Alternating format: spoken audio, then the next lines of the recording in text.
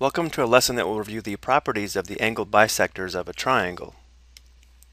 There are three angled bisectors for a triangle.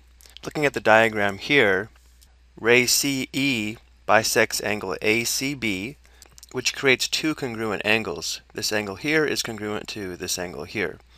Similarly, ray AD bisects angle A into two smaller congruent angles, so these two angles are congruent and then ray BF bisects angle B so that these two angles are congruent.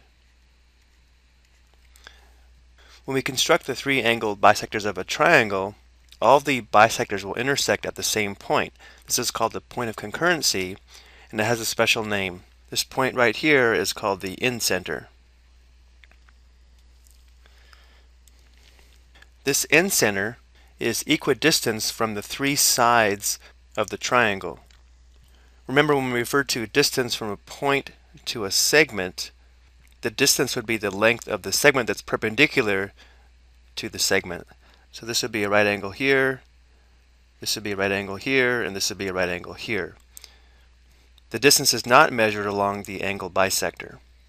And as you can see, since the incenter is equidistant from the three sides of the triangle, we can construct a circle inside the triangle. So the incenter is the center of what we call an inscribed circle. We'll go ahead and finish by talking about the concurrency of angled bisectors theorem, which states that the angled bisectors of a triangle intersect in a point that is equidistant from the three sides. So we already stated this, but it's often also stated as a theorem. And again, the most important thing to remember here is that the distance from the incenter here to the sides would be the length of a perpendicular segment, not the length of the angle bisectors. We're going to go ahead and stop here for this video.